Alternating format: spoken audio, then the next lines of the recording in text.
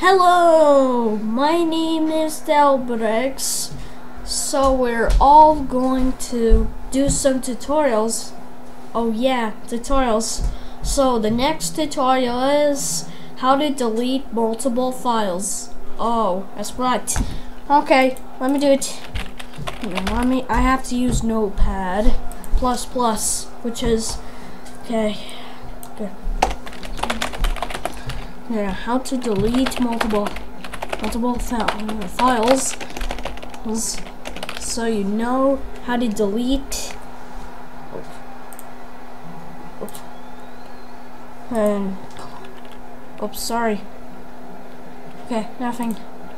Now click the file first file oh, and delete it. Delete it.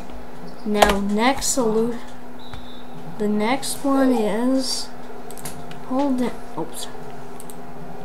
So hold down the control key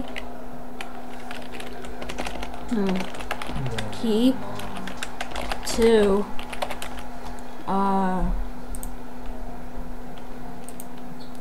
key on your on your on your keyboard. Next, right, another one is,